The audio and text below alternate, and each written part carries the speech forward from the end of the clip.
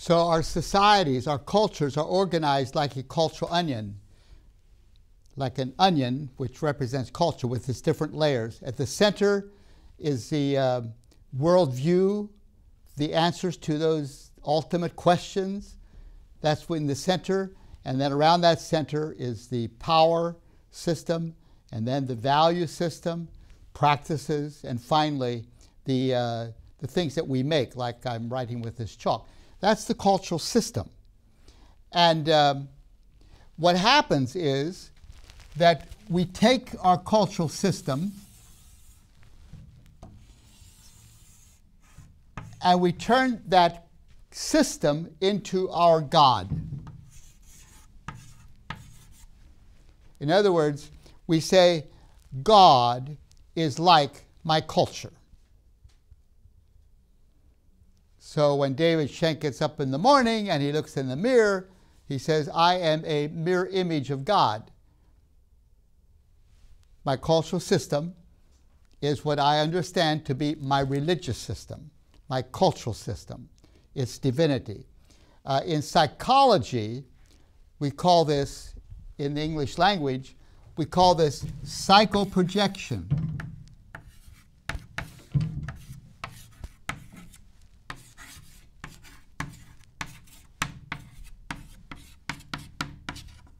Psychoprojection, where we project God to be the image of our culture. Sigmund Freud, the psychoanalyst, used to say, when he was living, that our religions are the psychoprojection of our fathers, that the father image becomes our understanding of what God is about. And the God we worship is like our fathers. All of that is to say that we worship a God, we worship gods or a God that looks like our culture. In other words, if my culture looks like a square, then the God I worship is like a square.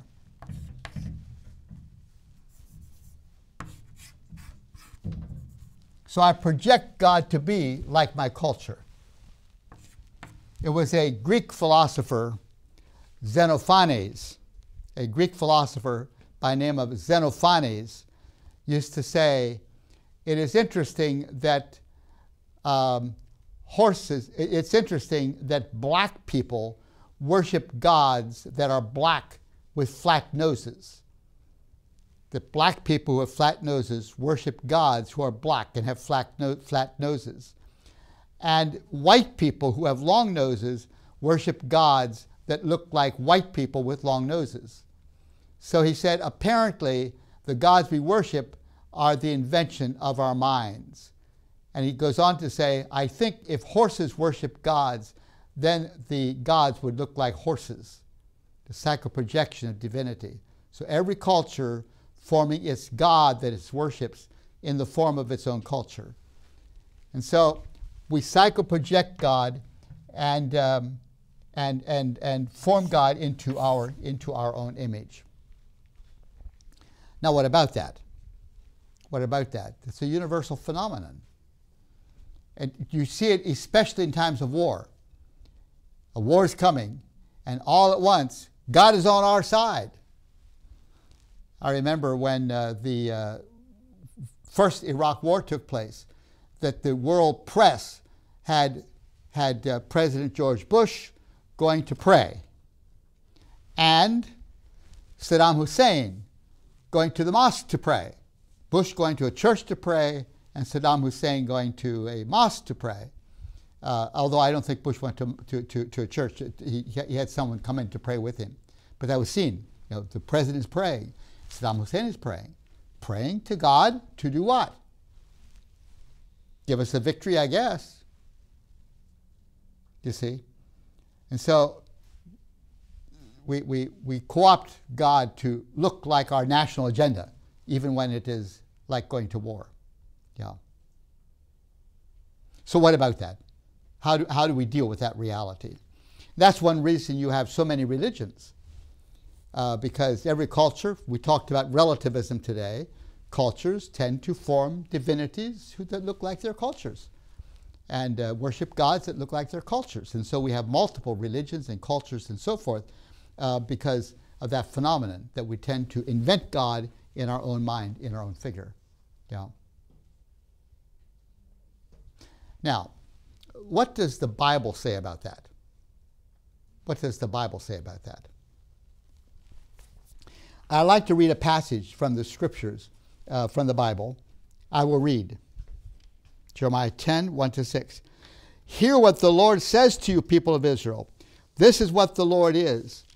Do not learn the ways of the nations, or be terrified by signs in the heavens, though the nations are terrified by them. For the practices of the peoples are worthless. Listen carefully. They cut a tree out of the forest, and a craftsman shapes it with his chisel. They adorn it with silver and gold. They fasten it with hammer and nails, so it will not totter.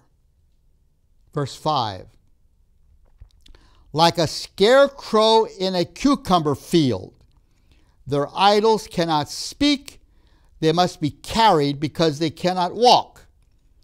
Do not fear them. They can do no harm, nor can they do any good. This idol is created by people. They take a tree, they cut it down, they carve it in the form of an idol, they put silver on it and so forth, and then they bow down and worship the creation of their hands. They worship the projection of their culture. And what does the prophet Jeremiah say about that? He says, These gods have no power, they have no authority. They are the invention of people, of the nations. They are not true gods. so don't fear them. Look at verse 6. No one is like you, Lord. You are great, and your name is mighty in power.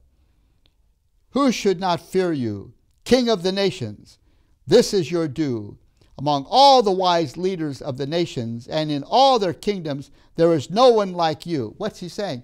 He's saying these gods that are fashioned after our culture are false gods. The true God is the God who created you, not the God whom you and I create. Get it? The true God is the one who created us, not the God whom we created. And so the Bible refers to this worship of the gods that we create as idolatry.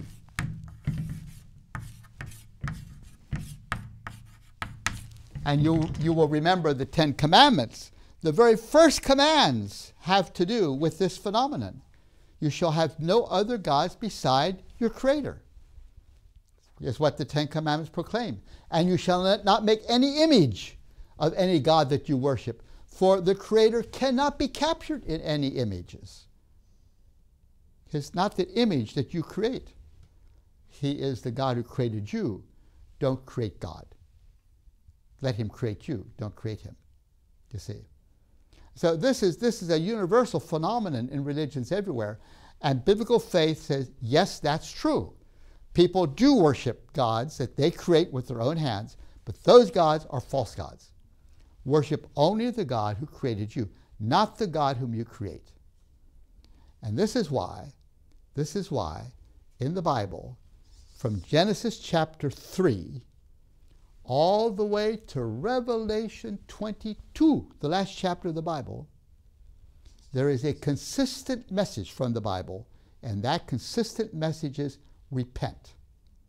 Repent. Now, when you study Hinduism, you don't study about repentance, you see. When you study Buddhism, you don't study about repentance repentance is a biblical understanding, and Islam and Judaism, uh, to some extent, embrace that, that commitment as well. Um, these Abrahamic faiths, they call us repent, you see. although within Islam uh, there's more of an uh, emphasis on submitting to the will of God, submitting to the will of God. But repentance is there. Repent. Turn away from the God that you worship. This is why in Islam there's such a complete prohibition of making any images at all in the mosque. You go to a mosque, you'll never see an image of anything. You'll see scriptures written, instructions from God, but never an image. Never. Never. You see.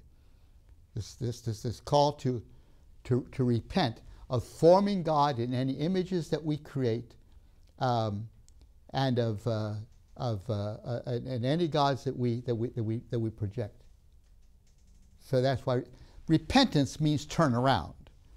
So within biblical faith, the picture is of us going in this direction, creating God in our own image and so forth. And God calls us turn around. Shub is the biblical term, the Hebrew term, shub, turn around. Turn around and go in the other direction. Turn around from what? Turn around from forming God in your own image and rather let the God who created you form you, you see. So repentance is very, very central to biblical faith.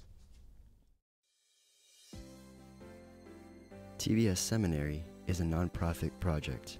Our joint effort will bring about the common purpose of making Christian education available around the world and developing good Christian servant leaders. You have a unique opportunity to partner in this effort through your prayer and or financial support of TVS Ministry. For more information, please visit tvsseminary.com.